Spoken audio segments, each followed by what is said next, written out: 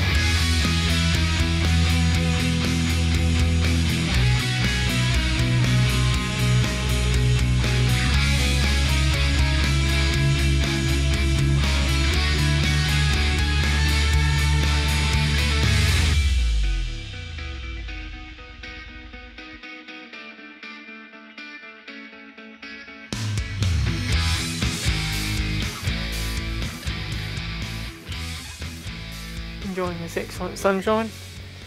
Putting a bit of paint stripper on there to get rid of some of this paint on there. I've only got really just the primer now. Don't even know if I'll take that off. So that's coming along very nicely. These two little bits have come up pretty good. So yep, looking really good. So I'm on to now, I'm going to weld up these bits in here the metal's pretty good in here, so um, yeah, just gonna weld it up. I've got my copper block behind there. See how we go. Well, it's been a bit of a long day, but here we go. Holes are all filled up and ground back. So I mean, all this is going to be covered up anyway, but it's all solid now. Excellent. Beauty.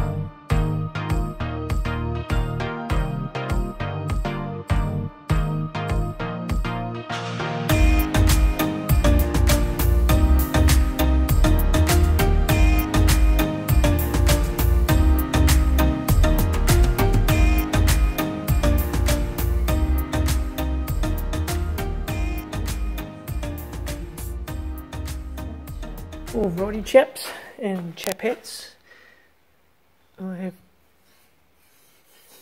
filled up a few of these holes in here. I made this panel in here. I've got to get in there with a die grinder. But I think I got the shape pretty good. But yeah, welds are still poo. So, a couple patches through here, like that. Um, put this whole section in here because that was all munted out. So yeah, getting there. Bit of a die grind in there, and uh, this bit should be ready to go on. So I've got that bit. That's the top bit. So you go bottom, middle, top. So sorry for uh, not posting videos so much at the moment, but uh, yeah, I am making content, but it's just taking a long time to get things done. So yeah, um, did this section. It's already put, filled up the holes, and it's all like uh, waterproof primer. So yeah, looking good. So hopefully I can get some more content done and edited and put in. So I'm also doing some artwork as well. So that could pop up as well. Alright, thanks for popping in, and I'll uh, catch you later.